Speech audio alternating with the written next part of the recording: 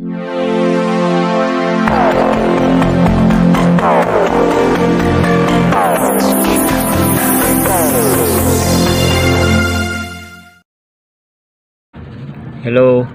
mga kabiyahe at nasa ngayon ay pinoproblema ko itong pagtatanggal ng tanso sa ano to galing po ito sa washing namin eh.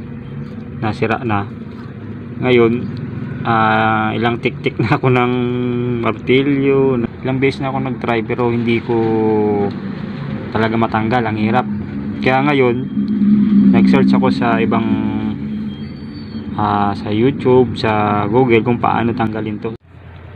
Ah, ito guys, yung mga ginamit ko kanina. So nahirapan ako magtik-tik talaga nito, magtanggal. Dahil napakahirap. So ito yung nabaklas ko kanina. Yun, binaklas ko yan.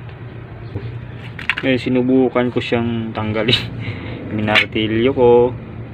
Tapos kutsilyo. Tapos itong plies So hindi umobra. So susubukan natin ngayon yung technique na ah, na ginawa nila. So ito mga kabiyahe, gagamit tayo ng lagari. Yung bago pa yung lagari. Mahal pa yata sa ano, pagbenta nitong kasi ito dito ang balak natin is ibibenta natin sa junk shop. So sayang kasi kung bebenta lang natin ng buo o bakal mas mababa lang. So kung makakalas natin to sasabay natin dito sa mga na ano natin na tanso. So ito po yun. Yan sasabay natin dito ito lalagariin natin to. Yun ang nakita natin na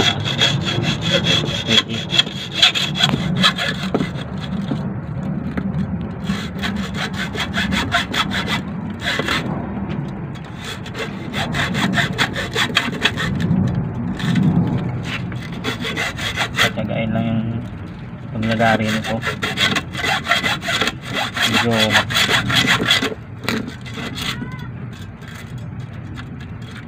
ikutin lang ulit.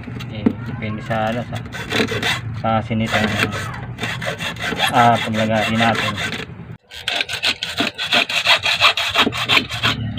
So ito na natin nakita natin puti yung ano niya. Puti. So dito purong pansok. Aloy pala ito eh.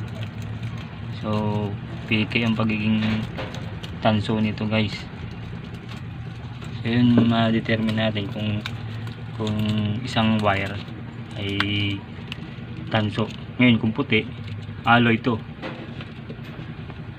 Hindi siya talagang tanso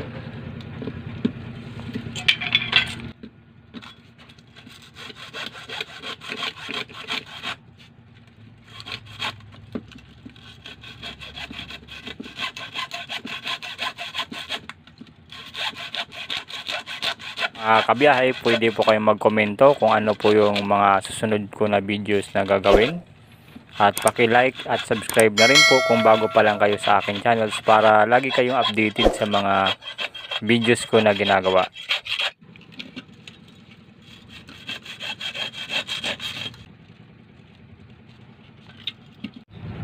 Ayan mga kabiyahe, ganyan yung itsura niya pag na lagari na siya. Puti. Puti yung pinaka ano niya. Pinaka luho ay magilid niya. So ngayon, kakalasin natin ito gamit itong uh, plies.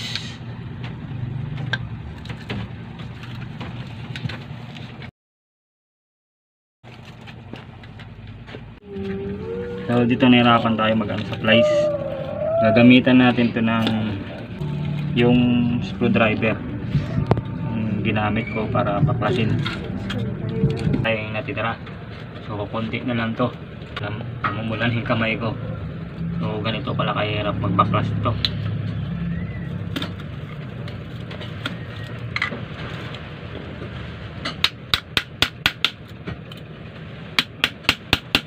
So ginamitan natin ng martilyo saka screwdriver. Tapos hilain lang.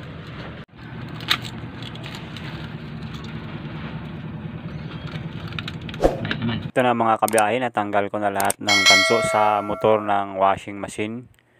Magkita-kita tayong muli sa mga susunod ko na videos. Maraming salamat po.